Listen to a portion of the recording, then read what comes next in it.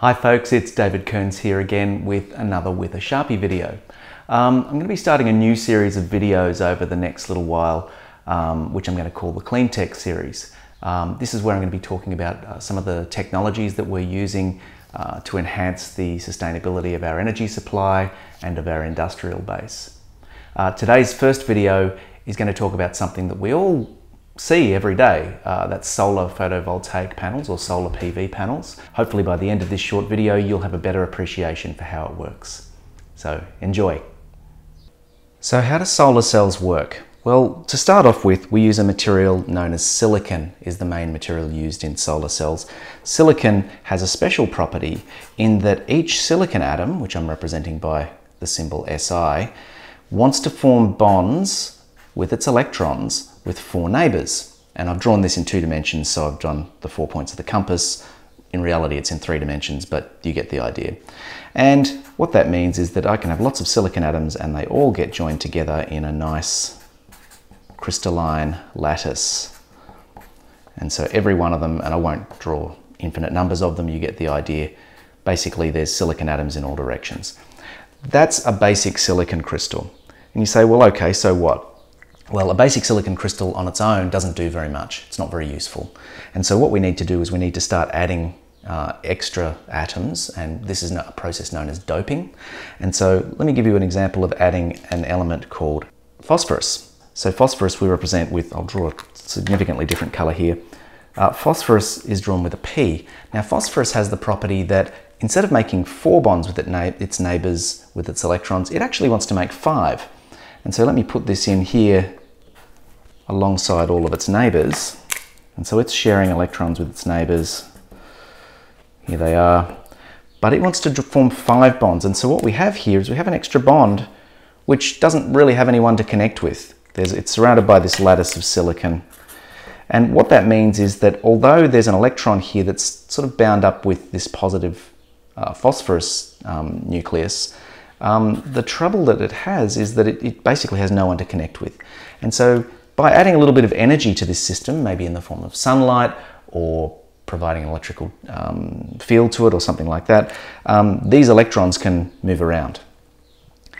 Um, so the effect of this is that this now has an excess of electrons and this thing wants to be a little bit negative. So I'll draw a big N here. Now let's say over on this side we have the same lattice of silicon atoms. Okay, and we'll draw them in here just like we had before. And you get the idea, they go off in all directions. But this time we could add a different element to it. And this time we're going to add an element called boron. So boron is represented with the letter B. Now boron has the property that it only wants to form three bonds with its neighbors. So over here phosphorus wanted to form five, so we had an excess. Over here, we've, we don't have enough. We don't have enough bonds. We've basically got a, a hole and I'll draw that as a little circle. But effectively, um, a hole is kind of a, a, mental construct that we've developed to represent this.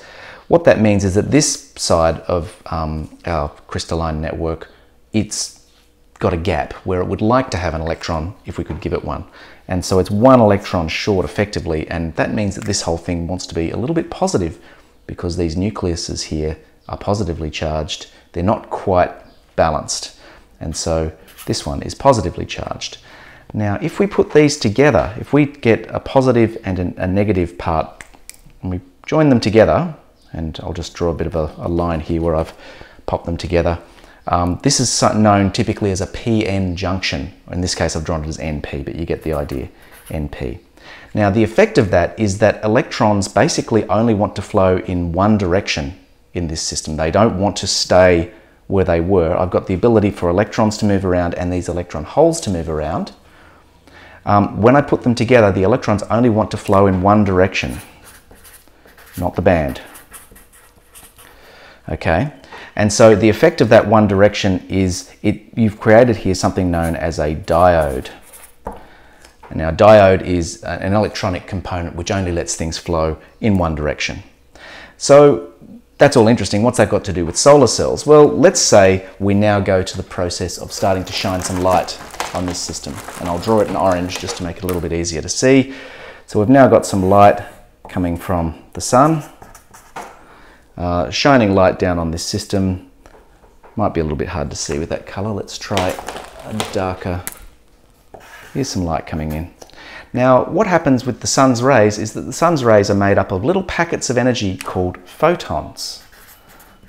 And photons are just discrete little lumps of, of uh, energy in the light. And what happens is that um, some of them will pass right through this lattice of silicon and will uh, pass right through it and nothing happens. Some of them will be reflected away, so they'll bounce off like a mirror. But occasionally, some of these photons will actually be absorbed by one of the atoms. And what that does is it actually provides energy to knock one of these electrons loose. Now, because we've set up this PN junction so that things only flow in one direction, we can now make electrons move from one side to the other. And because we've done that, um, that actually enables um, an electric current to start flowing as a direct result of being struck by the sun.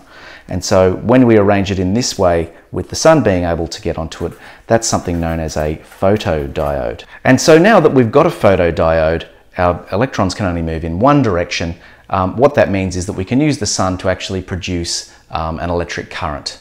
Um, now that electric current that gets produced is known as a direct current, which means that the electricity always flows in one direction all the time. Um, we call that DC. Um, if you want to use it in your home, the electricity that comes out of the power outlets in your home is known as alternating current, where the, the, uh, the voltage actually goes up and down um, 50 times a second in Australia or 60 times a second in the United States. Alternating current. You've probably heard that called AC.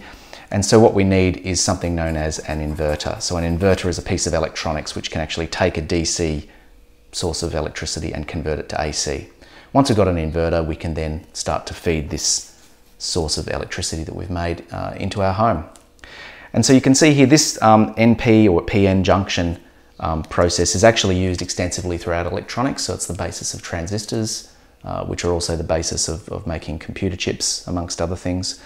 Um, but in this case, um, we're finding that they're being used extensively. Now, this is a very, very, very, very basic overview of how they work. Um, but essentially the idea is that uh, by a little bit, adding a little bit of doping, a little bit of impurity to our silicon, we've made it possible to actually extract the energy from these photons. This has been David Kearns with another With a Sharpie video. I uh, hope this was interesting and informative for you. So have a good day.